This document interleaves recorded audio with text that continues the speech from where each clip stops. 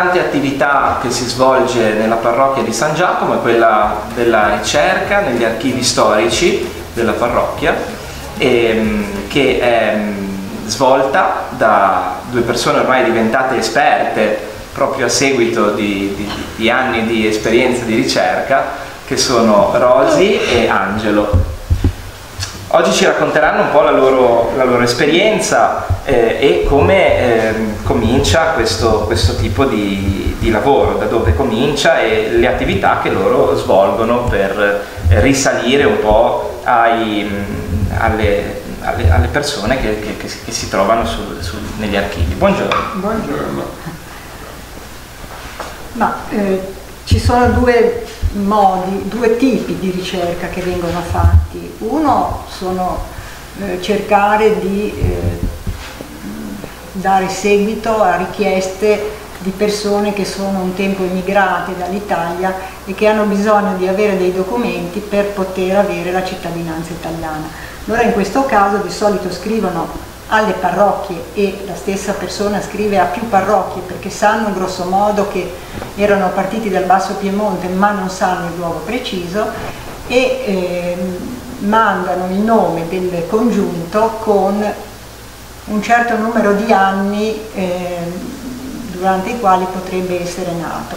Questo perché quando eh, sbarcavano non è che sbarcavano nel nuovo continente portando con sé un documento, ma dicevano come ti chiami e quando sei nato e quindi davano un'indicazione che a volte era pressappoco.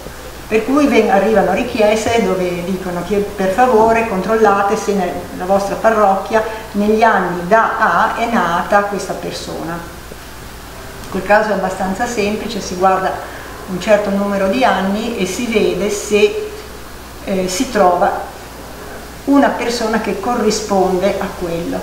Eh, tante volte una difficoltà nasce dal fatto che eh, a battesimo venivano dati molti nomi, di solito sempre prima il nome del nonno paterno se era il primogenito o del nonno materno se era il secondogenito e poi i nomi dei padrini, no?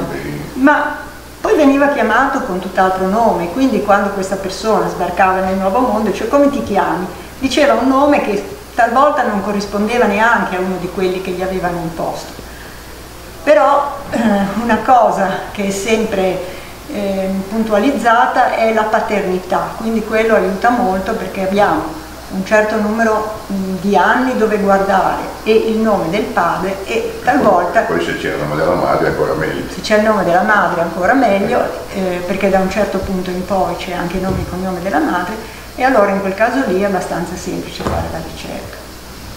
E questo è un tipo di ricerca. Poi con Angelo abbiamo fatto altro cercando di studiare una famiglia, quindi partendo dal capostipiti, dal prim dalla prima volta che troviamo quel cognome e arrivando fino ai giorni nostri. Angelo è maestro in questo perché fa da molti più anni di me questo tipo di lavoro e quando abbiamo studiato una famiglia siamo partiti eh, analizzando i vari libri dei battesimi, dei morti e dei matrimoni e poi una volta scritti e trasferiti tutti i dati li abbiamo incrociati e abbiamo ricostruito questi alberi genealogici.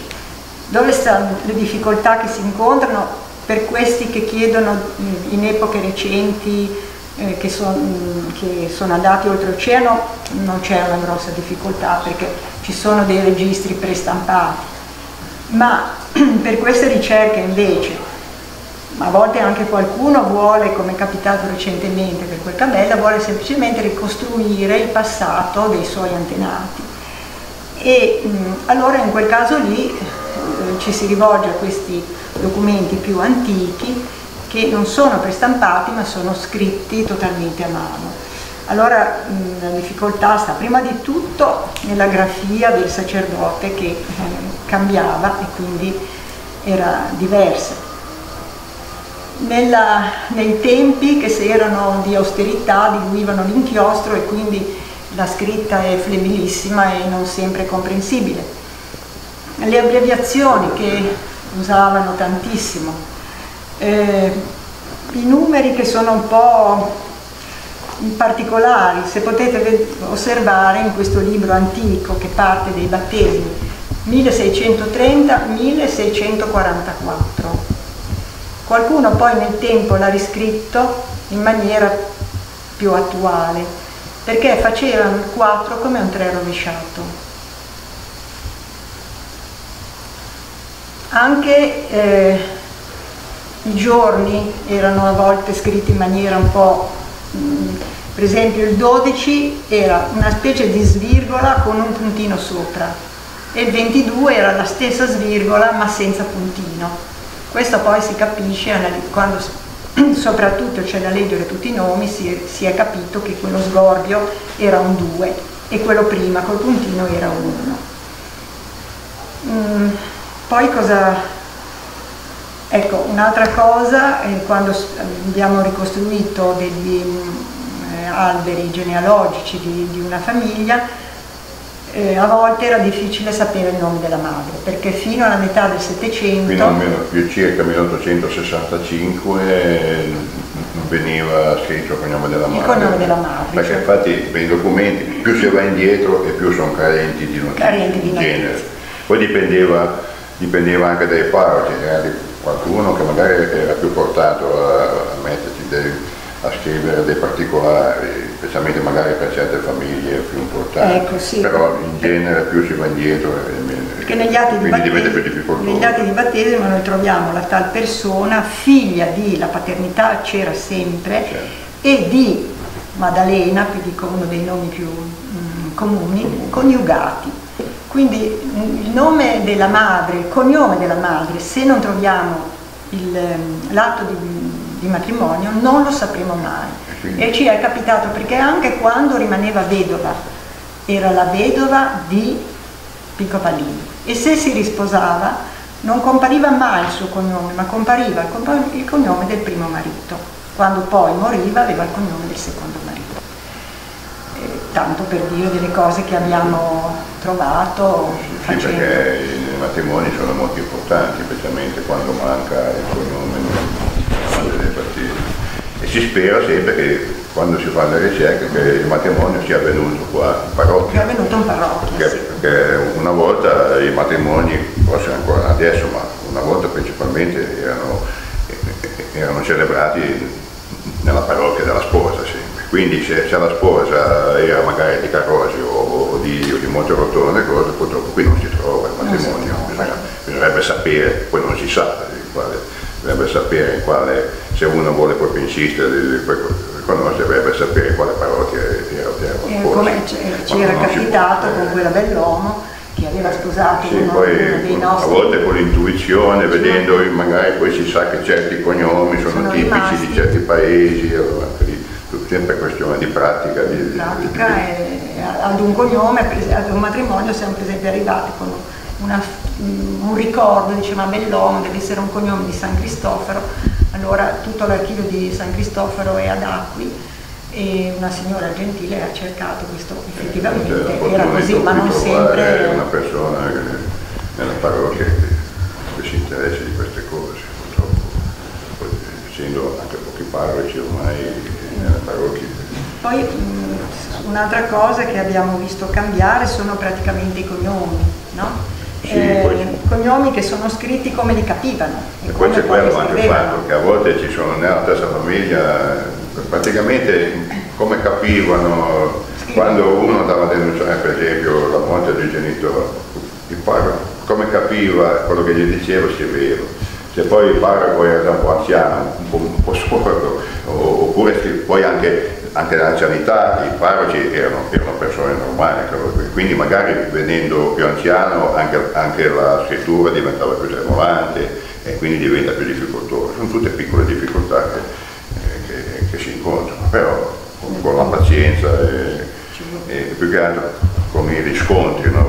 molte volte bisogna fare dei riscontri con, altri, con altre notizie che poi si mettono, è un po' come un puzzle, perché è un po', un po una, una, materia abbastanza, come si dice, no? che non è, non, è per, non, è, una cosa matematica, no. qui bisogna intuire, fare, fare molti riscontri per avere a volte quando, capita dei, dei dubbi per esempio i casi di omonomia, e allora bisognerebbe magari il caso tipico per esempio quando si hanno due nomi, un nome e cognome uguale eh, e che poi si, che non si capisce qual è quello che ha, continuato la, la, la, diciamo, la successione di, di, di, e quindi bisognerebbe magari andare a cercare, avessi tempo, andare a cercare magari nei defunti e vedere se, se uno dei due è mancato da piccolo, per l'esplosione si sa che era l'altro che era l'altro. Sì, perché Sono poi piccole, tutte piccole. In una, famiglia, in una famiglia mettevano eh, come il nome del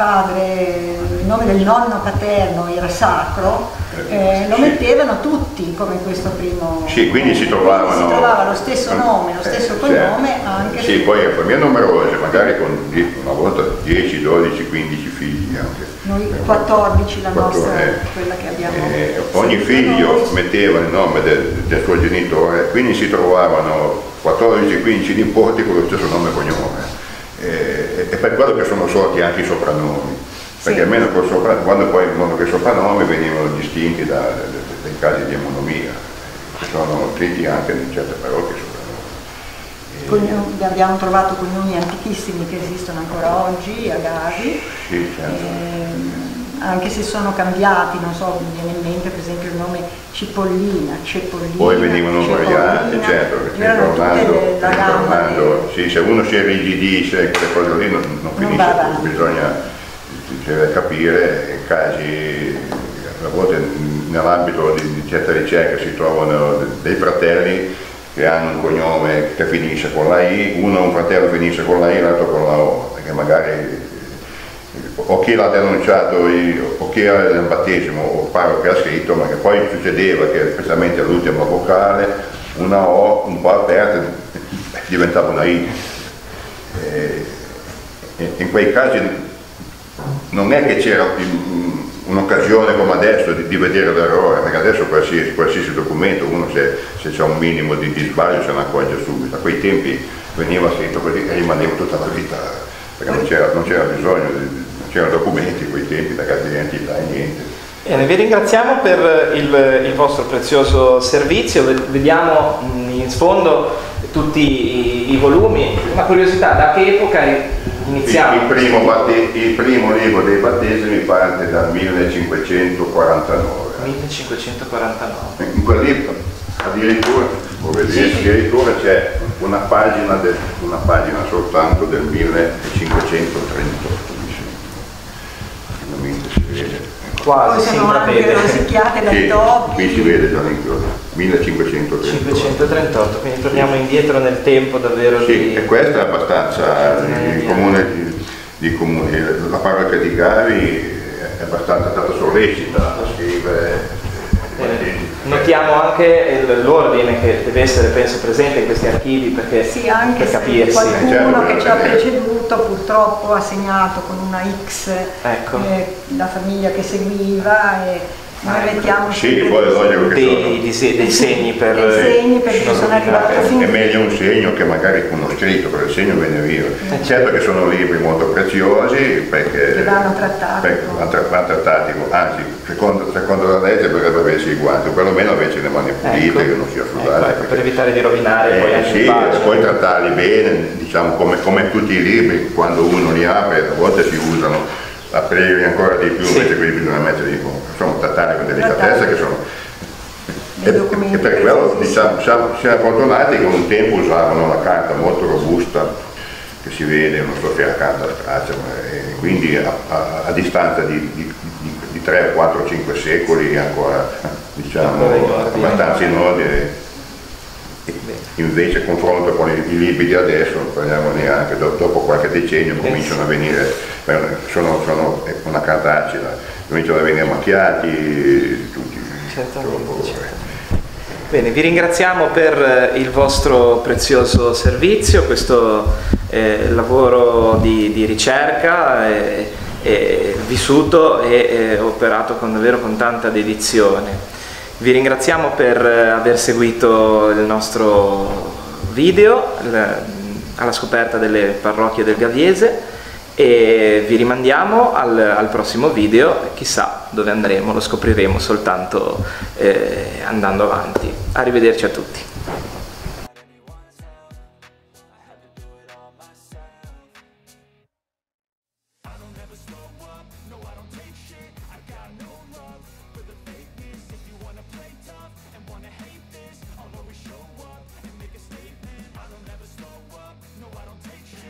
Anche questa volta siamo arrivati in fondo, però vi attendo un ultimo video sul canale in descrizione, mi raccomando andatelo a vedere. Sono tutti i nostri errori di scena che vi abbiamo tenuti nascosto, sono lì che vi stanno aspettando.